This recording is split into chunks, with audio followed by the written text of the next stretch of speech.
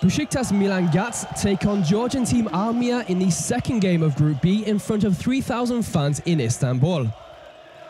Both teams come into this game undefeated, but only one will leave the arena with this title still intact. As expected, the game starts tightly, but it's not long before Besiktas' star man and 2008 Olympic gold medal winner Deron Williams starts pulling the strings as he sinks one from distance and is then influential on the defence as well, sending Kemp on his way to make it 19-13 to the home side.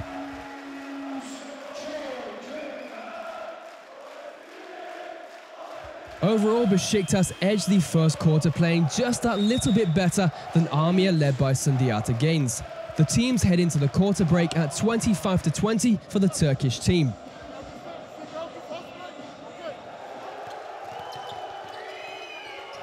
The second quarter starts exactly the same way as the first ended with Armia trying hard and doing well to reduce the deficit, but again Besiktas are just a tick better with the likes of Kemp and Williams running the show.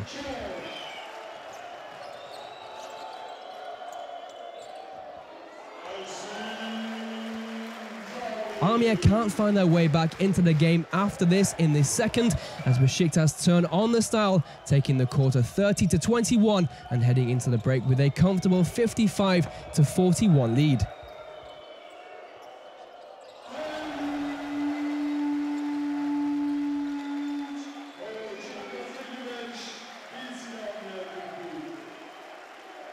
Into the third quarter now, and it is Armia who turn on the style as Richardson converts the alley-oop. The Georgian team really do give it their all in this period, but like in the previous two, it's just not enough as Williams finishes the quarter off in style with this long-range shot for 80 to 61.